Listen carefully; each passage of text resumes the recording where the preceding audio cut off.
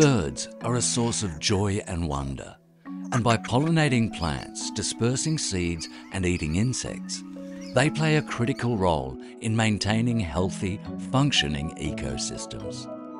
However, birds are facing many challenges, and in New South Wales alone, more than 150 bird species are threatened with extinction.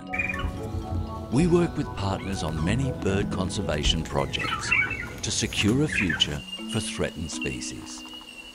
Citizen science plays a key role in the delivery of our program, Yellow-faced, yellow-faced honeyeater. and we need your help. Here are four projects you can get involved in to help save our bird species.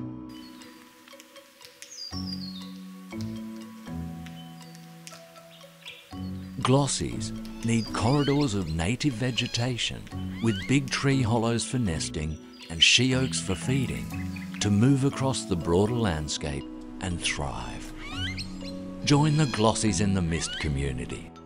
Report sightings of glossies, feed trees or hollows on your property. Protect she oaks from fire and restore habitat in the Great Western Wildlife Corridor.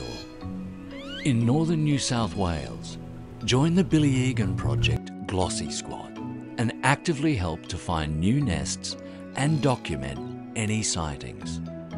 Spend a summer weekend in the Pilliga Forest or Goonoo National Park, counting glossies as part of the Great Inland Glossy Count.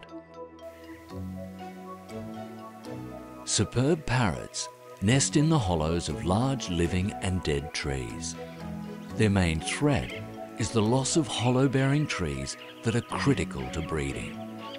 We need to learn more about their population trends and distribution so we can better protect them. On the New South Wales southwestern slopes and southern tablelands, Riverina and beyond, register as a superb parrot citizen scientist.